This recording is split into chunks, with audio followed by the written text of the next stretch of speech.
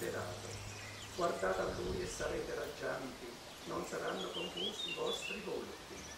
L'angelo del Signore protegge e libera. L'angelo del Signore si accampa attorno a quelli che lo temono e li salva. Guardate e vedete quante nuvole scure, beato in lui si rifugia. L'angelo del Signore protegge e libera.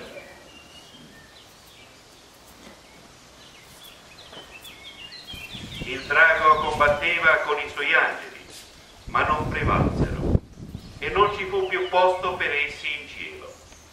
Il grande drago, il serpente antico, colui che chiamiamo il diavolo e Satana, e che seduce tutta la terra, fu precipitato sulla terra, e con lui furono precipitati anche i suoi angeli, poiché è stato allora udì una gran voce accusatore dei nostri fratelli colui che li accusava davanti al nostro Dio giorno e notte. Ma essi lo hanno vinto per mezzo del sangue dell'agnello e grazie alla testimonianza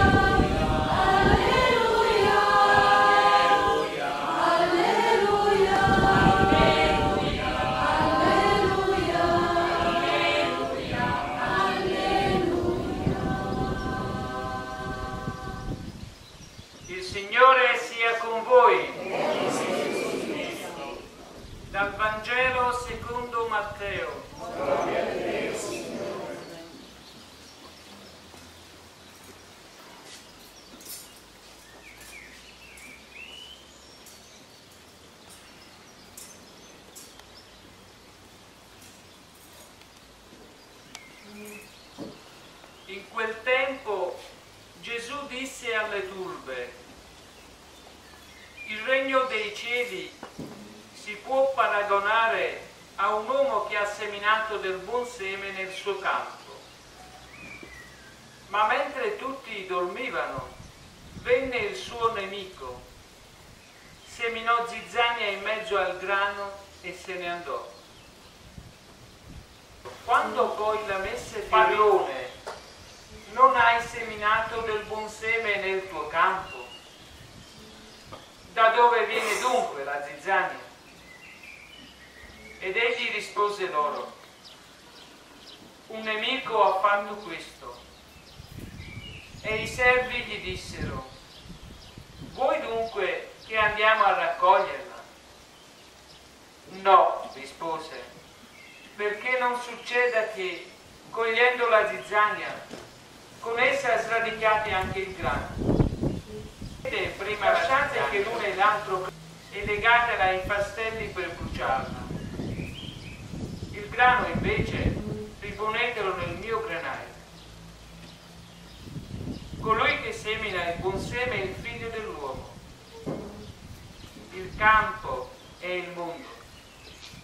Il seme buono sono i figli del regno. La zizzania sono i figli del maligno e il nemico che l'ha seminata è il diavolo. La mietitura rappresenta la fine del mondo e i mietitori sono gli angeli. Come dunque si raccoglie la zizzania e si brucia nel fuoco, così avverrà alla fine del mondo. Il figlio dell'uomo manderà i suoi angeli, i quali raccoglieranno dal suo regno tutti gli scandali e tutti gli operatori di iniquità e li getteranno nella fornace del regno del Padre loro. Parola del Signore. dello Spirito Santo. Cari amici di Angeli, partecipanti a questo convegno, sono San Michele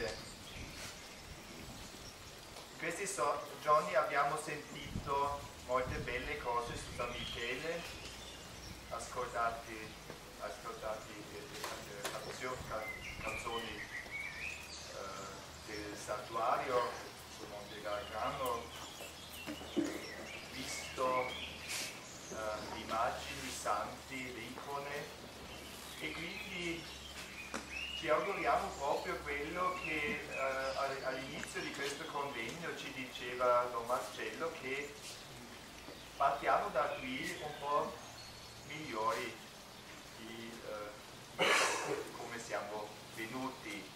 E questo anche abbiamo proprio sentito molto su San Michele. E adesso importante per noi mettere un po' in pratica quello che abbiamo sentito sono segno dell'amore di Dio e questo amore di Dio va risposto con amore. Papa XII, prima della sua morte, ha detto e ci ha esortato di vivere con gli angeli durante questa vita una vita di amicizia, così che possiamo vivere con loro nel cielo eternamente. Prepariamo questa vita eterna in felicità. Nella Chiesa occorre avere fede nell'esistenza degli angeli, sappiamo tutti questo. Dalla fede si può dedurre anche l'obbligo di una devozione agli angeli. Anche questo infatti i cattolici unilaterali vogliamo una cosa di presenti ripiego abbiamo un concetto più profondo di quello che sono gli angeli occorre essere anche amici degli angeli. Gli angeli sono persone persone spirituali persone mandate dall'amore di Dio. A ognuno di noi, gli angeli custodi, per porta in un personaggio mandato a me, a te, a ognuno di noi. Questo personaggio, questo angelo è reale, è concreto, è mandato in nostro servizio. Quindi abbiamo un angelo qui che è accanto a noi, che proprio mandato dall'amore di Dio per servirci, accompagnarci, per avere quello che abbiamo sentito nel, nel Vangelo, questo regno dei cieli, regno del Padre, verso la patria celeste. Dobbiamo rispondere, rispondere facendoci amici degli angeli, vivendo in un cammino insieme verso il cielo. E così abbiamo già una strategia. Abbiamo San Michele è l'archistratega di Dio e penso che questa è proprio la sua strategia per la vita particolare nostra, vita concreta nostra, che andiamo insieme con questi spiriti celesti accanto, accanto a noi. Ma come possiamo fare questo? La virtù, come sappiamo, si acquista con l'esercizio.